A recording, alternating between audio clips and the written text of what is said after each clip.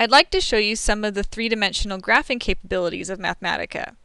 Mathematica has some built-in objects, like spheres and cylinders, but it doesn't take much to combine these with options such as color and specularity to create interesting three-dimensional graphics. The ability to zoom in and out and rotate the graphs adds a level of interactivity that helps illustrate functions in exciting ways. It doesn't take much to create interesting graphics. Only a little bit of code and some options will create things that will help demonstrate topics you're studying beyond what you've ever had the ability to do before.